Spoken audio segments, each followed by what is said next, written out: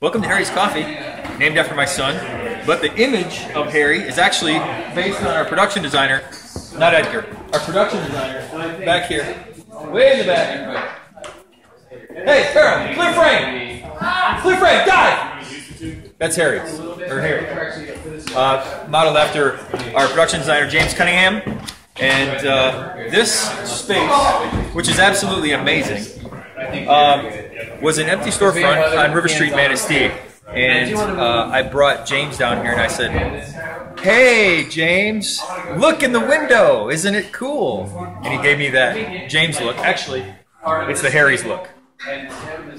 And I said, Can we turn this into a coffee shop? And uh, thank God, James Cunningham is one of the most talented people I've ever met in my life.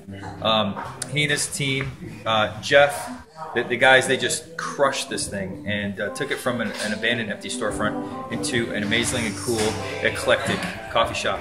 Up here on stage, we're going to have the amazing Micah Tyler playing a song for us. So actually two songs during this scene where we have our first date with Amber and Cody, um, a coffee date at Harry's Coffee.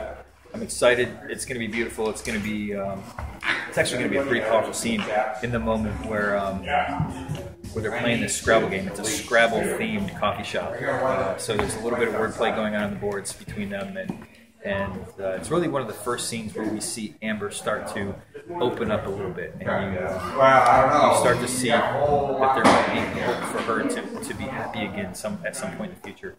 Uh, so thanks for checking in with us at Harry's Coffee Shop, and we will we will talk to you again soon. Thanks, guys.